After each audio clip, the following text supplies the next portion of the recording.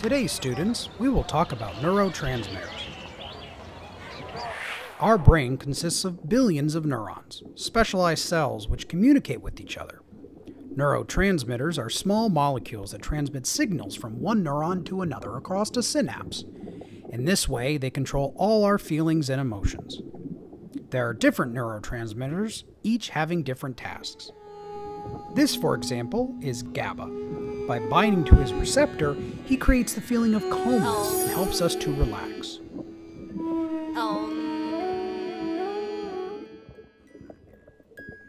This is melatonin, a lazy guy, always sleeping on his synapse. He is very active every night, makes us feel tired, and helps us to sleep. But now's not the right time to be tired.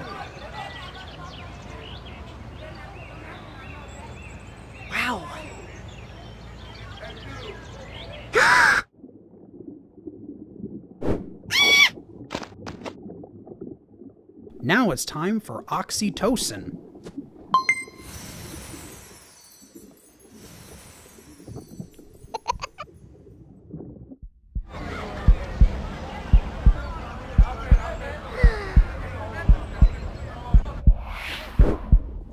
Oh, what's going on?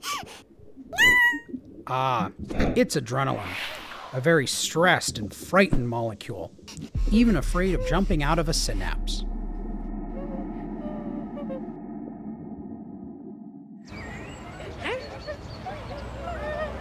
Come on, adrenaline, relax. It's not a scary situation. Maybe our friend GABA can help you calm down a little bit.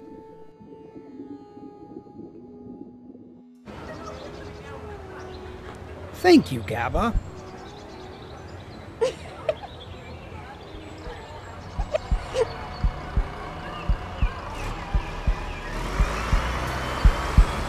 Now it's time to enjoy love. And time for dopamine to spread happiness all over the brain.